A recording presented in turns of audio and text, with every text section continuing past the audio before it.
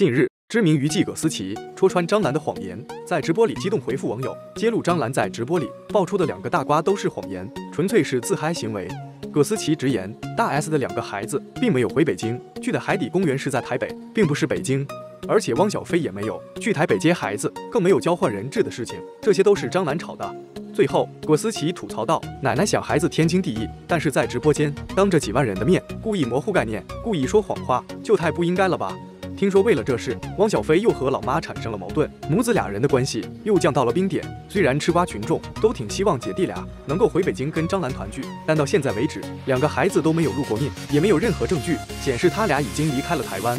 从始至终都是张兰在剃头挑子一头热，又是晒别墅，又是直播买小背心，甚至还邀请了一群小孩在别墅里嬉闹，行为举止相当高调。在他最新的直播中，虽然口口声声嚷嚷着要跟汪汪队会合，还搂着一个小男孩，称他为孙子，但这个孩子的脸被遮住了，谁也不知道他的真实身份。毕竟张兰邀请了好几个孩子来家里小住。更神奇的是，张兰秀完孙子之后，立马架上机器开始直播了，开启带货模式，这画风变得如此迅速，真是令人惊掉下巴。对于张兰的这波骚操作，早就有网友提出质疑。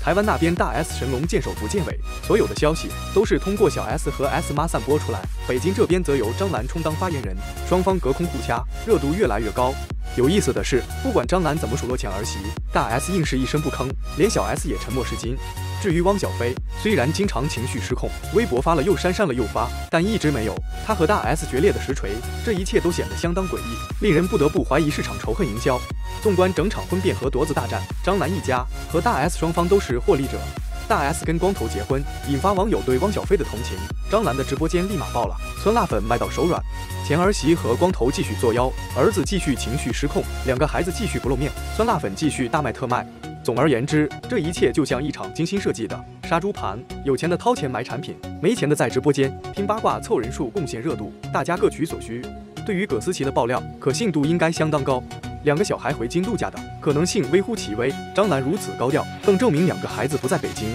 而且张兰多次在直播间调侃 S 妈和汪爸，嚷嚷着要让汪爸施展美人计带孩子回京，这更容易激起 S 一家的反感。如果就这样轻易松口放孩子回北京，大 S 这些年的娱乐圈算是白混了。现在看来，大 S 一家和张兰已经掌握了流量密码，双方达成合作也不是不可能。大 S 现在年纪大了，代言不好接，拍戏也轮不到她，除非愿意去演妈妈辈。汪小菲这边的生意一直不温不火，若不是因为大 S 和光头好上了，酸辣粉的销量还不知道会怎样。毕竟同款竞品多了去了，大家为什么非得买他家的？不就是同情他被绿了吗？因为成功迎合了网友们的猎奇心理，张兰的直播间生意如火如荼，但她大可不必如此拼，毕竟搏得太近也容易折啊。